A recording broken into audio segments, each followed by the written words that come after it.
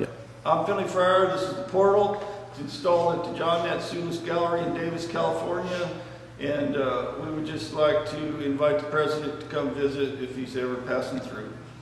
Hang in there, uh, it's a dirty job and somebody's got to do it and uh, what the hell, you know, I mean, it's, uh, I guess you're forgiven in another world. All right. Eh, eh, eh,